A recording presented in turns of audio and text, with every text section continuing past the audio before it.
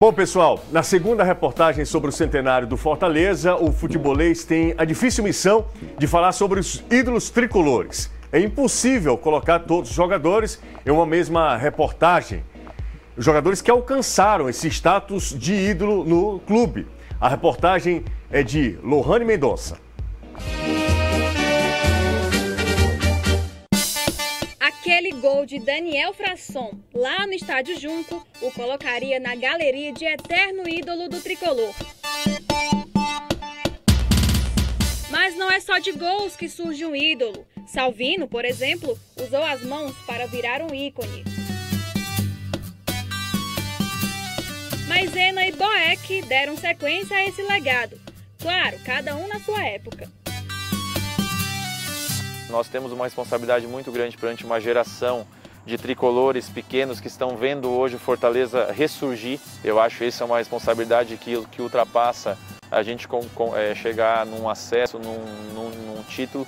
Por mais importante que seja um dia você, daqui a pouco, nesse ano, a gente conquistar o título da Série B e aí ter pessoas que vão comprar a camisa do Fortaleza e vão ver uma estrelinha lá e você fala assim, não, essa estrelinha eu fiz parte. Até hoje, né, a gente anda nas ruas, anda, vem no estádio ver jogos, a gente vê o, o, sentimento do torcedor com a gente, né? Então isso não tem preço, isso é indescritível. Né? Ele te recebe bem, ele quer tirar uma foto, ele, ele, quer falar dos momentos bons, né? É muito legal, uma coisa que a, a, a gente fala que foi, foi conquistado reconhecimento como craque perfeito do futebol cearense e atleta do ano, entre vários títulos de sua temporada, foram um dos grandes feitos de Pedrinho Simões. Isso mesmo, um dos. O camisa 1 do tricolor usou uma de suas milagrosas mãos para salvar a bola e segurar o fôlego de milhares de torcedores. 39 gols em apenas uma temporada entrou no livro dos recordes do futebol cearense. Quem assina essa página?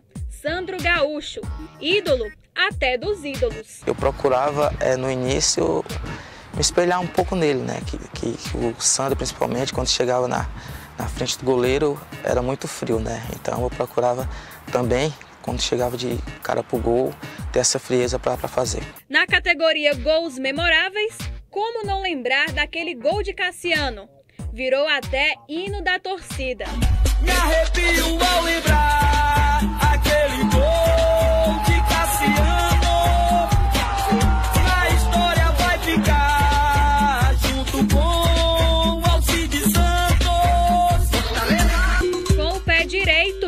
se tornou o maior artilheiro do Fortaleza em campeonatos nacionais. Ganhou até o apelido de Homem Raio. A gente fica feliz por isso, por ter marcado uma história, cravado o nome né, na história do Fortaleza. É, e o carinho até, até, até hoje, onde eu vou, para com os torcedores, é recíproco. Né? Então a gente fica lisonjeado né, por essa situação e por essa história muito bonita que eu consegui fazer aqui, aqui na equipe de Fortaleza.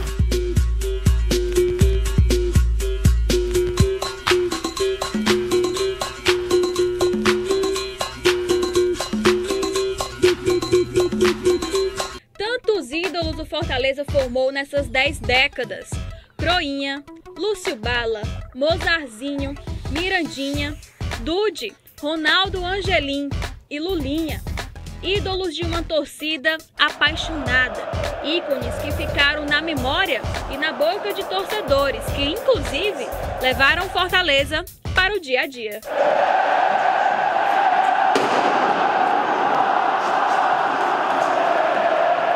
Das arquibancadas é possível ouvir aplausos e hinos cantados em uma só voz. Não à toa, a torcida é considerada o 12º jogador, que não entra em campo, mas que vibra e apoia até o apito final da partida.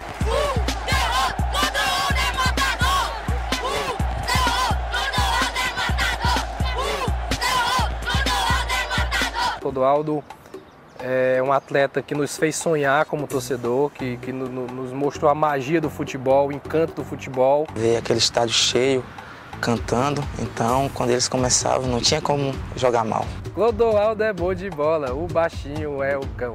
Quando pega o Ceará, deixa a zaga no chão.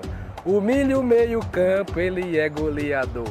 O terror. Clodoaldo é tricolor. Ouvir milhares de pessoas gritando um único nome é resultado de uma centena de gols com uma marca pessoal. Encobrir o goleiro. O Chiquinho, né, foi na, na lateral direita, meteu a bola entre os dois zagueiros, eu, eu acabei pegando ela no ar, né, de primeira, cobrindo o goleiro.